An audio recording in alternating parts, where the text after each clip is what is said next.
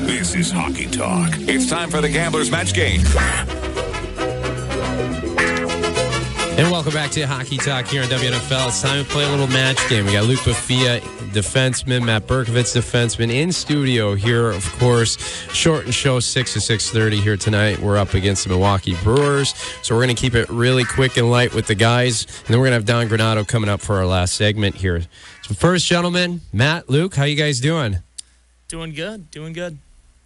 Of course, they've all been here to the program before, so we'll get right into it. We're going to play a little match game, see if they match up on their answers. And really, it doesn't matter if they match up or not. It's all for fun anyway. I just want to see the response.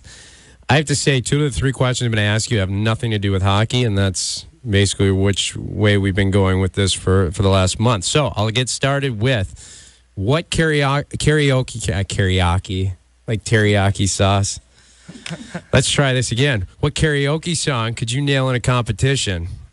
Well, uh, personally, me, uh, I'd have to throw it back with uh, Taylor Swift, our song. Uh, and that's Matt Berkovitz. Yeah. I, Sounds like the toughest defenseman on your team, Pat, right now with Taylor Swift. Well, I, I would actually expect a little bit of that from Berkey and Ryan, Ryan Smith would be right next to him. I got a funny feeling. Yeah, I mean, it's just a soft song that, but it, it works the crowd, you know? No, like I hear you. Yeah. You're definitely going to pick up a lot of tips with that. Luke? Uh, the first song that comes to my head whenever I think uh, karaoke is uh, "Sweet Home Alabama." There you go. There, there's the hard nose. Yeah, like just the first one that comes to my head. I'm not a big karaoke guy. Don't think I've ever sang karaoke before, but uh, if I had to, it'd definitely be that. I was thinking about this though, Pat. That we should do this with the guys once with their fans. Is do a karaoke night in the in the lounge upstairs in the Resch Center. See how exciting that would be. Yeah, I don't know if we're ready for that level.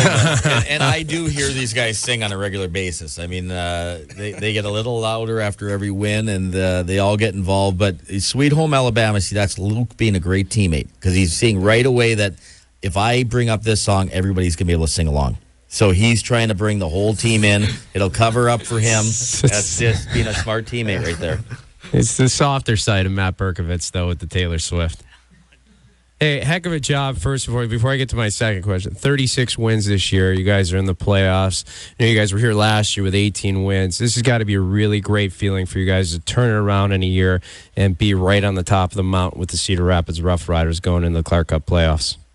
Yeah, I mean, it's a good feeling, uh, especially coming from last year. It was a little disappointment, but being able to turn it around and have a great season and uh, be right up there at the end uh, with these last two games meaning something is really special. All right, back to some serious questions now. If you had to cook for someone, I want to start with Luke. What would be your go-to meal? Are you guys uh, chefs? Come on. Uh, I'm more of a breakfast guy, so if, if somebody wanted me to uh, to make them a meal, it'd probably be uh, probably an oatmeal or not oatmeal, an omelet, an omelet and uh, yeah, maybe an omelet with oatmeal. There you go. Luke, you can't make me laugh. I'm battling a cold here. I'm I'm dying in this corner. Oh. It's got magic. what goes in that omelet? Uh, usually just uh, bacon and uh, sausage. That's perfect. I'm an omelet guy. You know, that's that's perfect. Yeah, that's good. What do you think, Matt? Um, I'm a pretty simple guy in the kitchen, so uh, my mac and cheese is pretty good though. I've made it a few times and uh, got great reviews. So I'm sticking sticking to my guns. Is this a homemade mac and cheese or a Kraft macaroni and cheese in the box? Kraft faces every time. You can't do uh, the normal ones. It's got to be faces. Oh, my kids would love you then. That's all they eat. Awesome. Third question here for you guys, and I want to know this from every perspective. Scott, Pat, Luke, and Matt, and somebody that's a, a fan of the game myself. I want to know what goes through your mind during the national anthem right before a game, especially a big game. What's going through your mind? Well, uh, usually I just take that time to think. It helps you focus in, lock in, and uh, I like a good national anthem. Um, I think it gets you a little jacked up before the game if the person's really belting it out, and it really gets you going a little bit.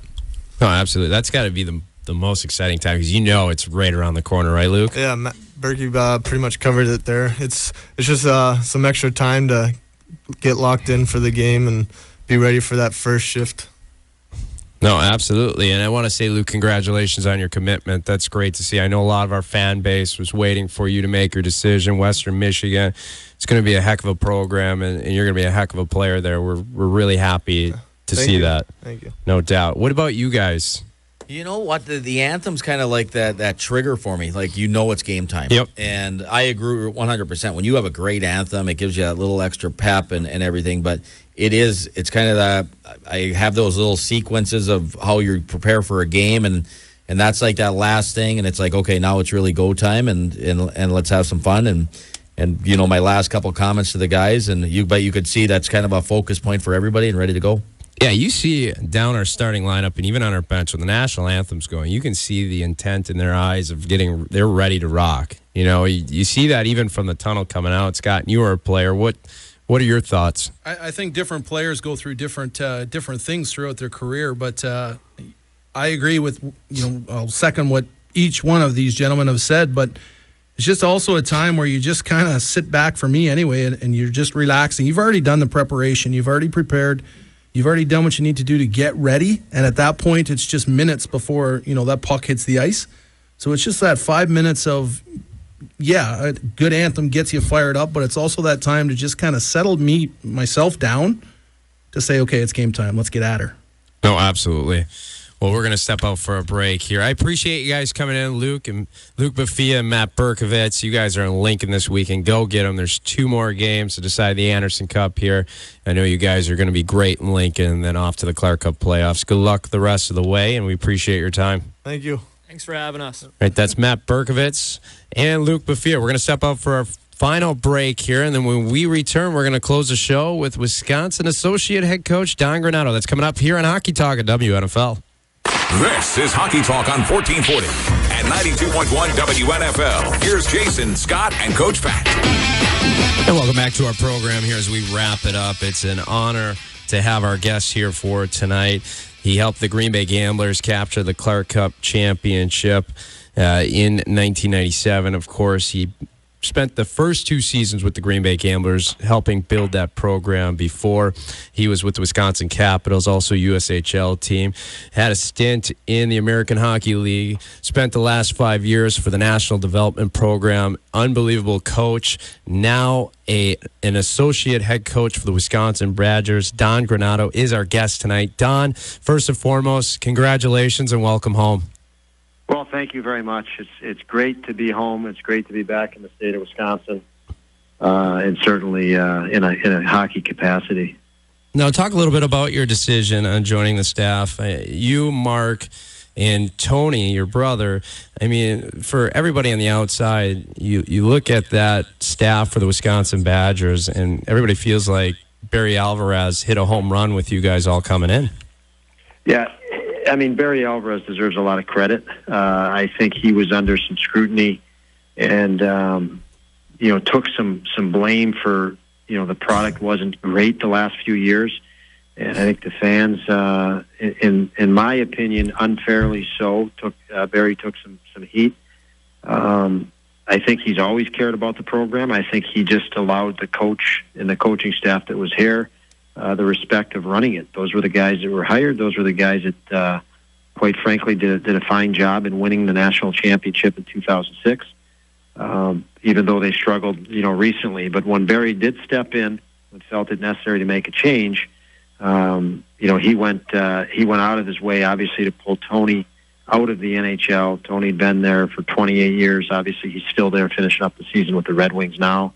Um, you know, myself and Mark were were not in the college game either, so he had to draw us all back in. And you know, he went out. Um, he told everybody that the top four candidates for the job as the head coach uh, were Mark Osiecki, Mark Johnson, myself, and everybody told him that he'd never get Tony out of out of the NHL.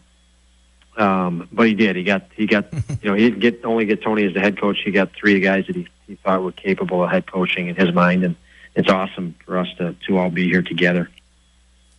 Well, Coach, now this is uh, Pat Mikesch here. With everything changing so quickly for you, where do the where does the focus go? They're busy with their own teams. I know you've kind of already started out the process in Madison.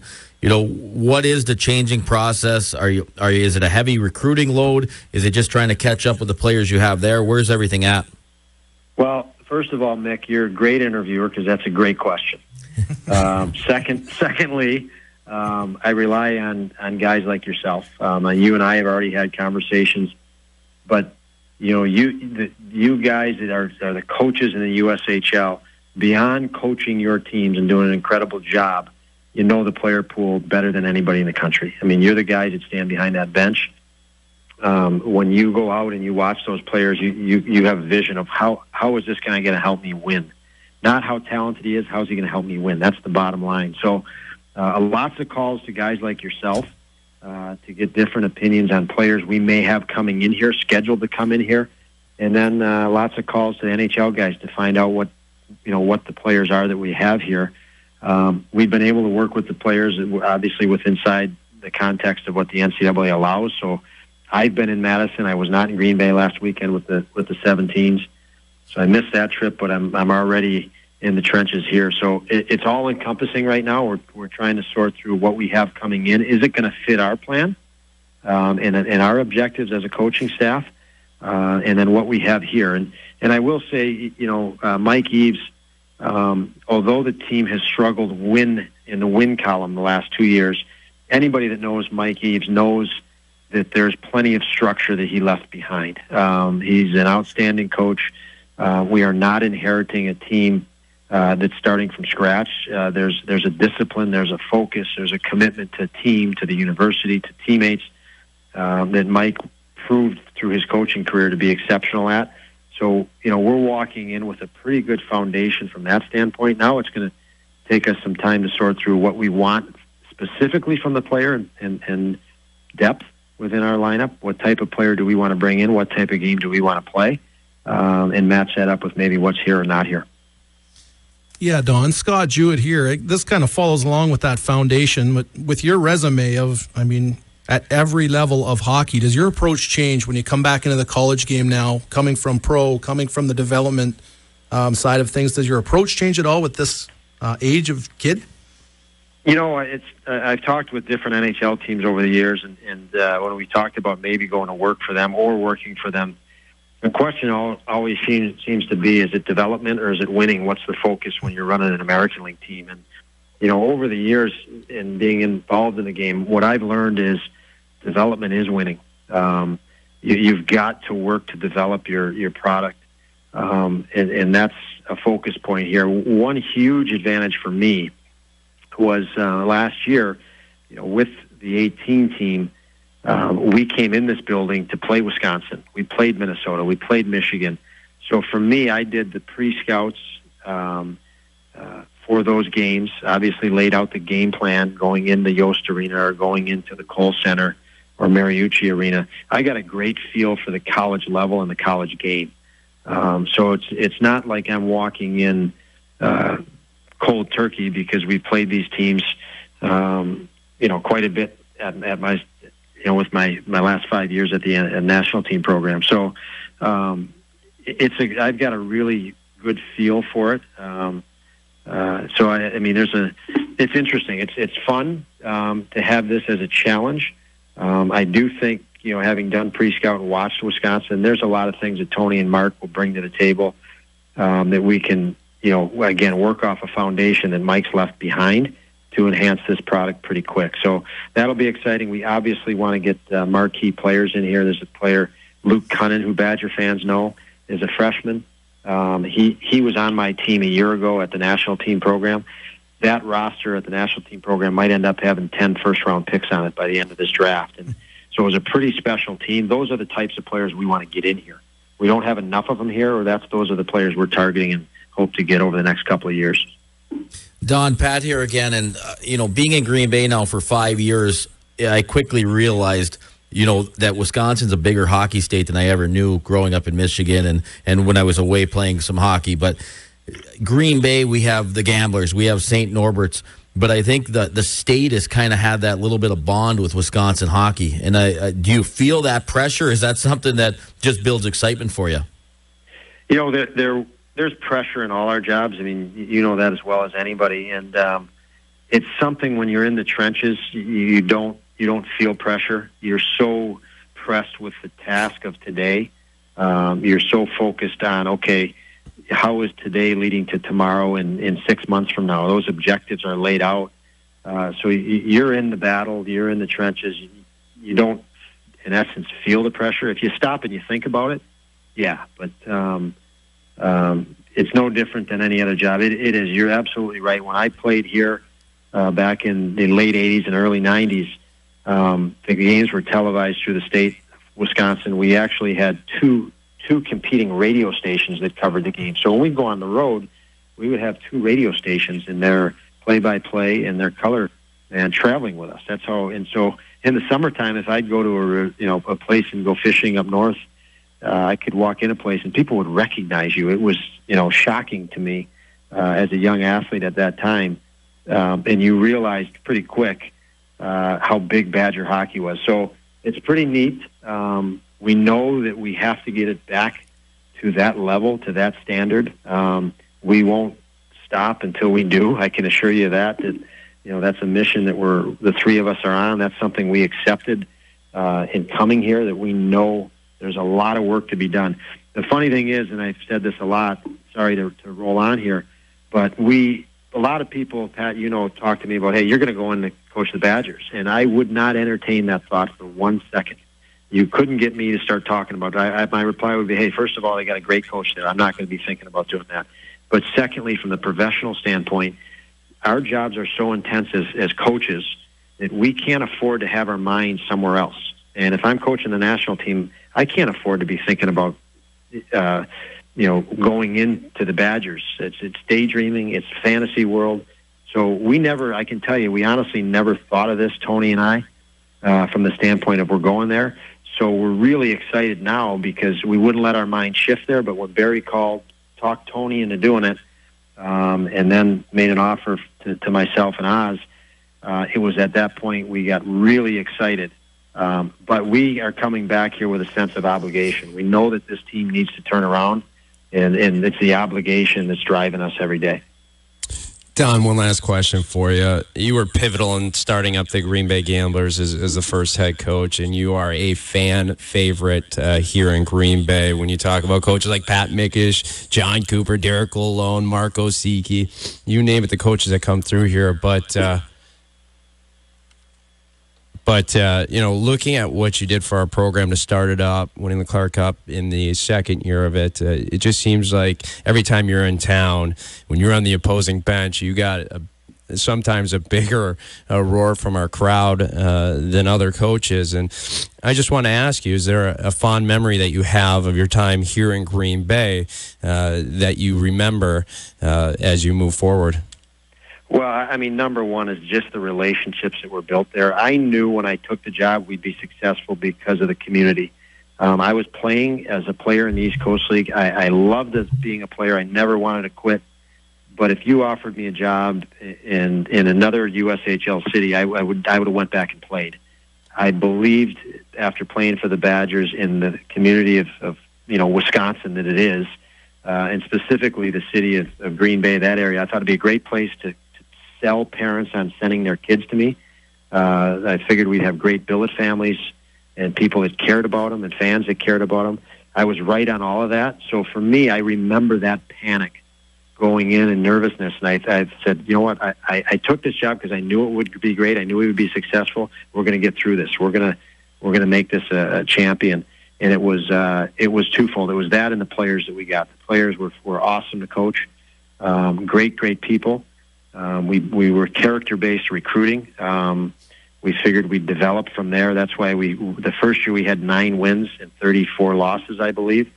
But we took all first year kids. I said, much like the national team program, I said, you know what, we'll take our lumps the first year, but let's get character people in here and develop them. And we did. And then the next two years we won the regular season and at that point the national tournament. And it was it was again the community and, and the kids themselves. It was awesome to be a part of. And you mentioned all those coaches my biggest goal, I think, was establishing a junior program that would stay stay there forever and have a top notch program. All the coaches that followed me made sure that they're awesome guys, and I couldn't be prouder to have uh, been associated with all of that. Well, Don, we're running up against it here. We appreciate your time. Best of luck this year as you guys rebuild the Wisconsin Badgers program. And once again, congratulations, you, Tony, and Mark. Like like we said before, that's a home run for uh, for that program. And like we said, best of luck along the way. Thank you, and, and best of luck in the playoffs there, Mick. I'll be watching. All right. Thank you very much.